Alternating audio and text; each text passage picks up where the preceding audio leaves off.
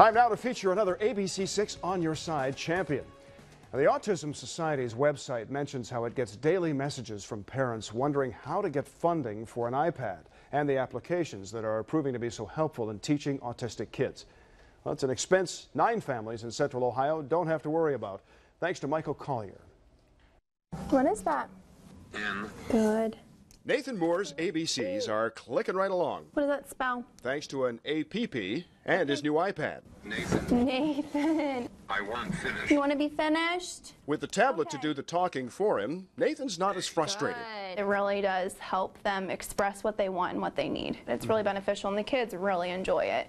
something about the way it responds to them, to their touch so easily. It, it works like just the way they think it should, I guess. Which, in reflection, is partly why Michael Collier helped buy Nathan's and eight other iPads for autistic kids. The local news article, Lancaster, that was really cool. Michael's now a college freshman at Wright State, but in his last two years of high school, he held two fundraising golf tournaments for his Eagle Scout service project. I'm autistic, I'm high functioning, Asperger's syndrome, so it, it kind of has some relation to me. It doesn't take long to realize Michael has an intense drive towards service.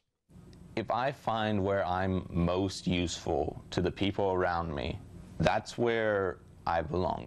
Letters here from some of the families. While Asperger is sometimes distinguished by a lack of empathy, Michael was deeply torn when deciding who got an iPad. Uh, so bad. It was hard to do because you felt like you were shutting people out. I shift back and forth between like the good I did and uh, needing to have done more. I don't know if he realizes what an impact he, that he has made. That includes giving Nathan's dad, John, some peace of mind. It's nice knowing that there's young people out there that when we're no longer able to care for Nathan, that somewhere down the road, there will be people there. Take. Pig. Turning iPads into eye openers for autistic kids. I want to be helpful to people around me. Five. Good job. Nathan's new voice is just the first way that Michael Collier hopes to answer a lifelong call to serve. However big an impact, I just I want to make a difference. Uh, Michael partnered with the Southeastern Ohio Center for Independent Living, and they got the applications together, helped them choose the recipients this time around.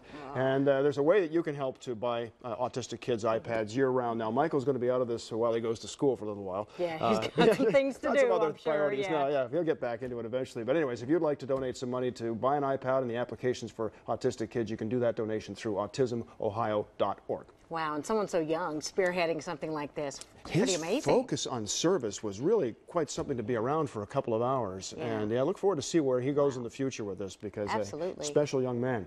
Well, if you know a community champion like Michael that I should profile, please drop me a line on my Facebook page.